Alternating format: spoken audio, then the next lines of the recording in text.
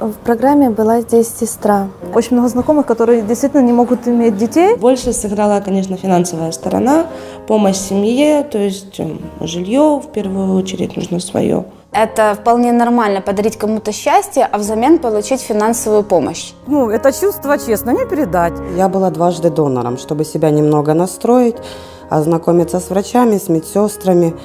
И потом уже я решилась а на третий раз суррогатной мамой, я не жалею. Я не жалею за то, что я попробовала, и сейчас я в этом участвую. Родители очень счастливы, они очень ждут этого малыша.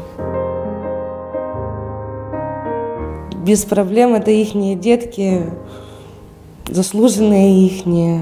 Да, я понимаю, это не мое, это не мой ребенок. Ты, як идешь на суррогатную маму, ты должна осознавать, что это вынашивание ребенка, это бу- будущая жизнь. И все пришли действительно сюда за одной целью, чтобы помочь людям. Мы сможем купить свое жилье, мы сможем как бы дать детям своим что-то, и плюс э, поможем кому-то, а они помогут нам. Здесь ничего страшного нету.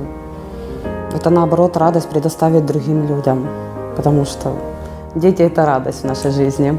Почему бы не помочь человеку э, стать родителем? Это подарок родителям, которые хотят деток и не могут.